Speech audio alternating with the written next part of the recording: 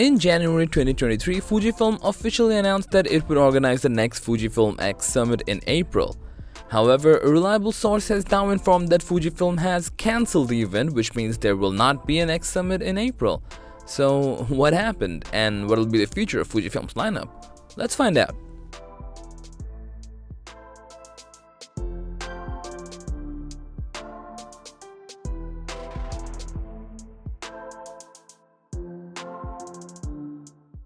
With the New Year's greeting video, Fujifilm gave us many insights about the company's current roadmap and future plans.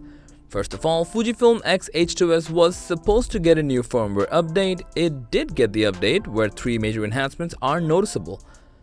Fujifilm utilized deep learning to enhance the AI-powered subject detection capabilities of the X-H2S's autofocus. This upgrade has led to an improvement in the camera's subject detection performance, particularly in situations that were previously challenging to identify. Secondly, the GFX Challenge Grant program of this year was going to be announced in March, well, as of yet that did not happen. And finally, the Fuji X Summit 2023 was scheduled to be held in April 2023. This particularly was very exciting, as new products are introduced often in every year's summit.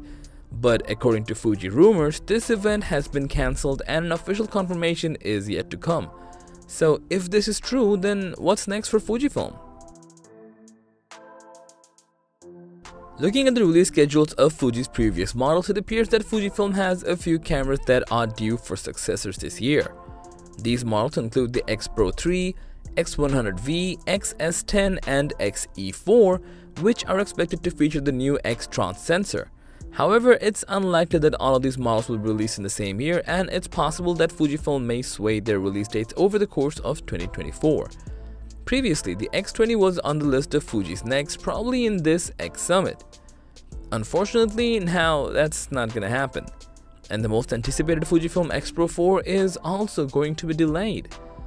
From its inception, X Pro has targeted photographers who value the technical experience of using a camera and prefer a rangefinder style camera with advanced features.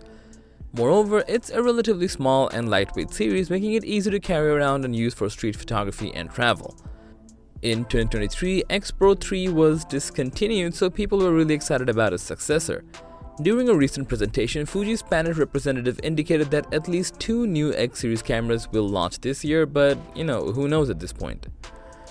It's very disappointing that Fujifilm can't even bring out a product to continue its growth as a company.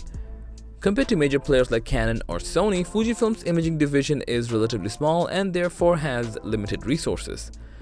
With the significant camera and lens releases as well as the GFX system that they have recently launched, it's expected that Fujifilm will have a comparatively uneventful 2023. Fujifilm is required to update its remaining lenses to ensure that they're capable of resolving images to the same level as the new 40 megapixel sensor. Due to the limited research and development and manufacturing capabilities, it's uncertain what Fujifilm will prioritize. Will they focus on developing new cameras equipped with the new sensor or updating more lenses? What do you think? Share your thoughts in the comment section down below.